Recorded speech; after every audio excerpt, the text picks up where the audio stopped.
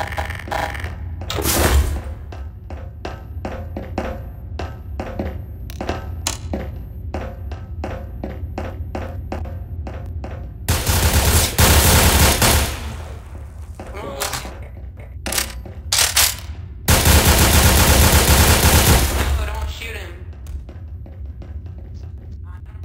don't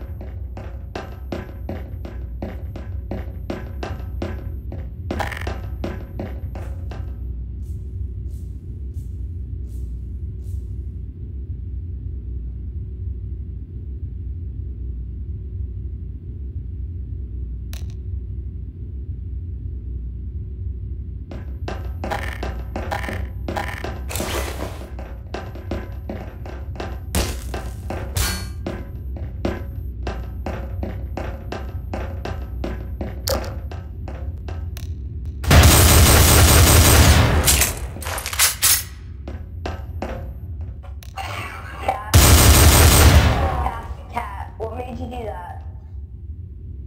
And you're not allowed in here either, Cat. Cat, it's time to stop. I just ordered this, guys. Two rules.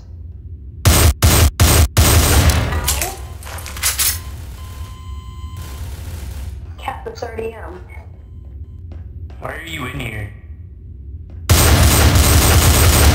Oh. Alright, I'm just gonna get rid of him. to the old map. Already warned you no, it's not the old map. Never mind. I thought I even had you read the rules. I already stripped him, stripped him, stripped him, stripped him.